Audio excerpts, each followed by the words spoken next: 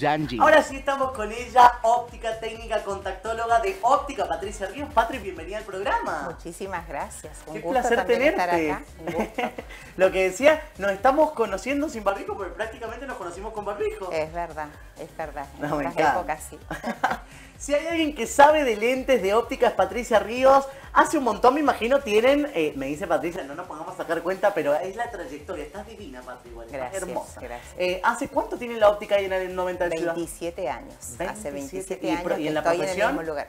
Y 30 y pico largos, así que no saquemos cuenta porque me recibí muy jovencita, pero, 30 Qué y bueno, pico. está muy bien, la felicito, muy bien. Bueno, el tema que eligió Patricia para hablar, como estarán viendo acá en la pantalla atrás, ya se está viendo una persona ahí enfrente de una pantalla, la influencia de la luz azul en los ojos.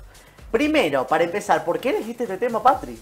Porque en estas épocas Sí. de que no podemos salir a la calle, toda la gente se ha volcado en comprar computadoras, en dedicarse a ver sus celulares, incluso a trabajar de la- desde la casa. Entonces, la mayor parte del tiempo la estamos ocupando en proyectores digitales, en aparatos digitales. Por ejemplo, un maestro que trabaja desde su casa, Claro. trabaja con una computadora, a veces con un celular o tiene un celular porque los niños envían WhatsApp Claro. eh, con la computadora. Otra persona que hace el trabajo desde su casa, mínimo dos horas por día se pasan en la computadora. Toda esa permanencia influye muchísimo en los ojos. Cuando uno está frente a una computadora, no solamente las radiaciones que emite, hace que uno parpadee mucho menos de lo normal. Entonces produce ojo seco. Ah, parpadea menos. Sí, Uno por ahí piensa muchísimo menos que cuando está frente de otra cosa que no sea un, una- un aparato digital. Eso a la larga trae consecuencias como un ojo seco. El ojo seco trae gravísimas consecuencias que empezamos con ardor, irritación y a la larga trae muchísimas consecuencias porque un ojo seco hay que hacer un tratamiento muy extenso y no se cura fácil. Claro. Todas esas cosas van trayendo el hecho de estar mucho tiempo expuesto a las computadoras, a los celulares, y ya te voy a ir contando por qué elegí este tema. Bien. Y, esta pregunta la quiero hacer porque siempre se habla de la luz azul. ¿Qué es la luz azul?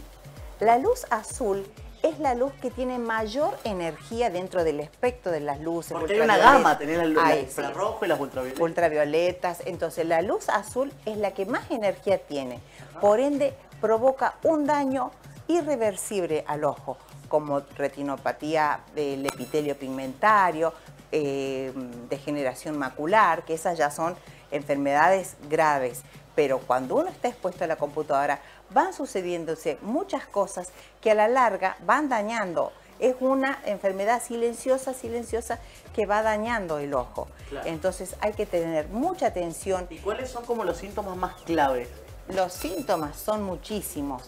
Cuando uno está con un proyector que está viendo la computadora o el celular, sobre todo los jóvenes que están todo el día celular y a una distancia inadecuada porque no lo están viendo acá, sino que se lo enciman, empezamos con mareos, con náuseas, dificultad para Claro. enfocar. De bien que estás mirando por ahí, se te va, se te viene, se te va, se te pone A mí borroso. una vez me pasó que en la computadora fue como que, como que se me borró la vista y volví. Claro. Como cuando enfoca el celular, ¿viste? Como, y volví. Digo, ¿qué me pasó? ¿Será el- yo, lo, di- yo lo llevé al cansancio.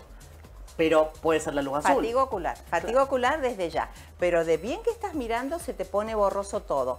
Te aparecen manchas y dices, ay, y después solita vuelven, no podés enfocar, estás que lo alejas, que lo secas, o sea, dificultad para poder enfocar. Mi mamá, por ejemplo, ya- se pone el celular acá para ver. bueno, Eso es un- eso ya es presbicia. Eso es- bueno. Cuando empezamos a alejar, Eso ya es otro presbicia. tema que otro Cuando día. empezamos a alejar ya es presbicia. Pero los jóvenes tienden a acercar muchísimo los, los- los aparatos digitales. Entonces es como que no, hay, educa, hay que educar a los niños para que alejen. ¿Qué porque si distancia no, es la ideal para tener el 30 centímetros.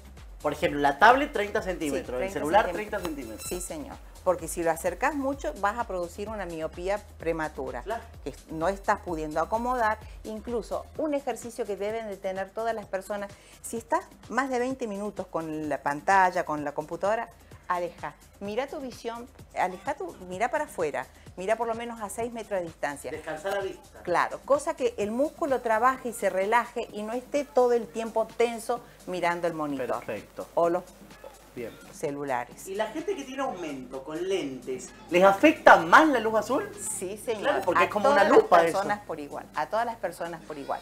Y en estos eh, O sea, no le afecta más, más al que tiene lentes. No, en estos tiempos de, de pandemia que estamos, tomo- estamos todos enfocados a, a ver el celular, a, a trabajar Sí, con sí. ellos, porque la gente trabaja con su celular, entonces surgen los problemas que tenías y que no. Entonces, cuando una persona tenía un astigmatismo, tenía una miopía, tenía una hipermetropía, la sintomatología es mayor porque está eh, aparejada a un problema que traía y que no se revisó. O sea, todas las personas deben de tener un anteojo para eh, pro- eh, protegerse Ajá. de la luz azul, todas. Tenga corrección, no tenga corrección. Agradecemos a Panadería y Confitería Santana, los mejores productos, la mejor atención. Dale un gusto a tu paladar en el mejor lugar. Visítalos en Avellaneda 552 de Villanueva, Guaymallén o comunicate al 426-0720. Panadería y Confitería Santana, las cosas más ricas de Mendoza. También tiene que ir Patri. Yo la estoy invitando a los lugares de los sponsors. Me encanta. Pregunta. ¿Puede dejarnos ciegos la luz azul? Eso quiero preguntar. No, no. Imposible. Imposible. Bien. Pero sí puede producir graves problemas en la mácula. Y en el ¿Qué sería la mácula? La mácula es la zona donde se forman las imágenes, la zona más delicada, más sensible del ojo. Ajá. Está en la retina, Bien. en la ¿Y capa qué, qué efectos puede traer que, que afecta a la mácula? Eh, es como que la luz azul o la luz ultravioleta van dañando, van dañando. Pues si vos tenés un telón de donde se forman las imágenes, Sí. esos rayos van dañando y van provocando agujeritos, agujeritos. Es como que llega un momento que ese telón lo estirás un trapo y se rompe, se rompe y ya no tiene telón sano por donde ver. Entonces Claro. esa mácula se va dañando de tal forma que es no como te que queda no- zona de va perdiendo como la nitidez, por así a decirlo. per- perder nitidez y ya no le queda zona sana. Perfecto. ¿Y qué relación hay entre la luz azul y los rayos UV? La luz azul es muy, muy energética, Ajá. entonces es muy dañina. Pero los filtros UV absorben 100% los rayos azules. Son diferentes, rayos azul y rayos UV. Sí, los rayos UV son los ultravioletas. Bien. Entonces, al tener un, un cristal que absorbe 100% los rayos UVB y UVA para proteger al ojo, estamos protegiendo totalmente del ultravioleta y del azul. Ah, porque es más, es más fuerte el ultravioleta. El, no, el azul. El azul es más fuerte. Más fuerte, más Ah, mira. energético. Entonces, por eso hay que poner un filtro para que absorba todo eso y refleje los rayos nocivos que siguen quedando en el camino. Perfecto. Pregunta, ustedes en la óptica, en Alem 90 de Ciudad, ¿tienen eh, lentes de sol y lentes de receta con protección para rayos UV, me imagino? Sí, y señor. para rayos de luz azul, o sea, para la luz azul también. Sí, sí. Cuando va un anteojo de receta, Sí. generalmente le ofrecemos un, un filtro azul. Bien. Pero si vos no tenés que receta, yo les aconsejo a todo el mundo que se haga para trabajar con su dispositivo digital, que se haga un anteojo con filtro azul. Perfecto. Porque le va a, a- a ahorrar muchos dolores de cabeza en el futuro. O sea que, por ejemplo, el señor W que vive en las computadoras, yo que vivo con Tiene el que celular, nos conviene tener, aunque no necesitemos, puede ser sin aumento, puede ser un Claro, con... tiene que ser sin aumento cuando no lo necesitan. Ah, ya lo vamos a ir a hacer uno.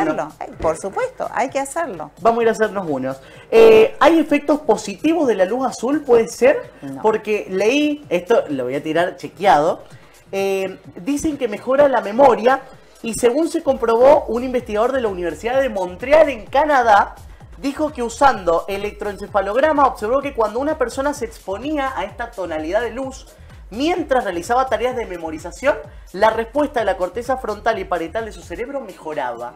Eso me llamó la atención, porque uno tiene que investigar obviamente todos los temas que tenemos acá en el living, y vi que decía un solo efecto, porque es el único, un solo efecto positivo. ¿Eso es verdad, Patri?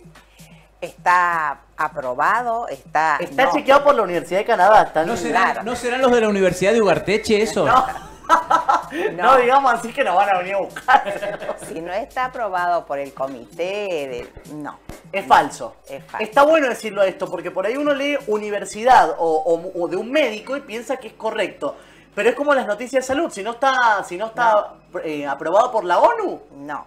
Aparte, este, todas las universidades hacen estudios, como todos han hecho estos test para, para vacuna para el COVID. Todavía como que no tenemos ninguna exacta y fehaciente. Claro, totalmente, claro. Es como decía, lo, si no está aprobada una noticia de salud por la Organización Mundial de la Salud, es No, todavía Falsa, no se aprobó, falsa. todavía no está comprobada de que sirve. Perfecto. Y esta pregunta te la quiero hacer, Patri, porque a mí me surge esta duda que yo lo tengo, la opción en mi celular, en mi computadora, en mi tablet, como también están en los televisores. Hay una opción de que pone la pantalla después de la noche amarilla. Es como que se pone amarilla la pantalla. ayuda. ¿Eso ayuda al- Sí. a la luz azul, a protegerlo Sí, en los ojos ayuda, de la luz azul? ayuda. Y una cosa que deben de hacer, cada vez que estén con los dispositivos digitales, disminuir el brillo. Disminuir el brillo para que pueda mejorar la, la- la energía de esa luz azul que es tan dañina. Disminuir el brillo del celular, de las computadoras, eso ayuda muchísimo. Y aparte pueden poner bien, antes antes venían unos protectores para las computadoras, ahora como Ah, no sí, que era como vendiendo. una como un Sí, ahora no se están Sí, sí. vendiendo porque para eso está el anteojo. Claro. Y ya lo reemplazamos. Bien, entonces voy a agarrar y voy a poner en mi celular con ese filtro amarillo suavecito, pero mucho, ayuda. Ayuda mucho. Me encanta. Patri, para ir cerrando, eh, tips para cuidarse de la luz azul, uno abajo del otro, para ir diciéndole a la gente, esa es su cámara. Disminuyan los brillos de los computadores, de, la- de los aparatos digitales. U, háganse sí o sí el anteojo con un filtro, tenga corrección, no tenga corrección. Deben de usarlo todo el tiempo permanente. Perfecto. Qué profesional. Un aplauso para Patricia. Un lujo tenerte, Patri. Gracias. Me encantó. Me has traído unos lentes que ahora lo vamos a mostrar en- en- justo cuando Ah, tenemos sí, el por PNT supuesto. de. ¿Y Sí. qué lentes has traído ahí para Y mostrar? quería mostrar estos Sí. anteojos que vas a lucir ahora.